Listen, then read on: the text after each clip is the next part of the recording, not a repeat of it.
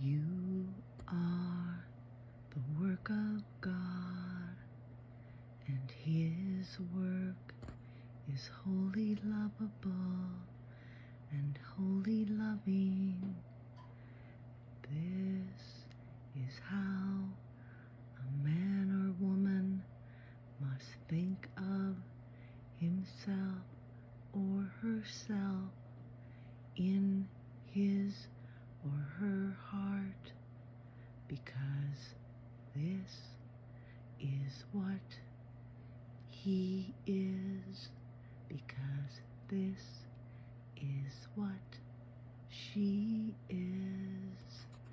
Thank you, thank you, thank you, thank you, thank you. Thank you, thank you.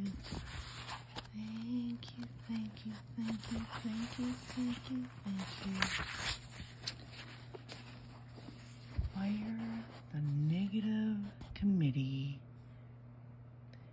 that meets inside your head. Most of what goes on in your mind doesn't deserve your attention.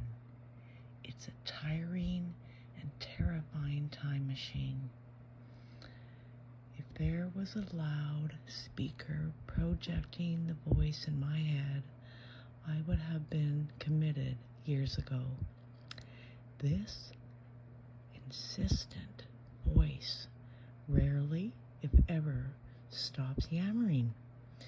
It seems to think it's Simon Cowell, that it's getting paid to judge, analyze, dissect, and label everything. What a huge relief to discover that all my mental verbalizing means nothing. Lesson 4 of A Course in Miracles says this My thoughts do not mean anything. For a minute or two, whenever I think about it, I stop and notice my thoughts, the roommate in my head, as Michael Singer calls it, and simply repeat this thought that I'm running late doesn't mean anything. This thought that I need to pick up the house doesn't mean anything. This thought that it's really cold outside doesn't mean anything.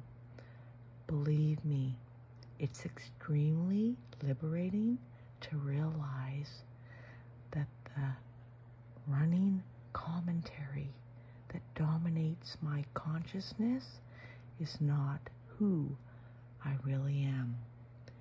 Thank you, thank you, thank you, thank you, thank you, thank you, thank you, thank you, thank you, thank you, thank you. This is gonna be the best day ever. Cause I'm gonna make it that way. I'm gonna smile. Breathe deep.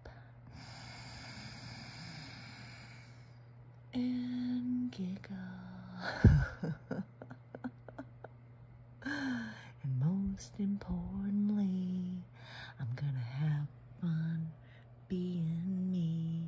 Boop, boop, bee, do. Peace and love, everybody. Peace and love.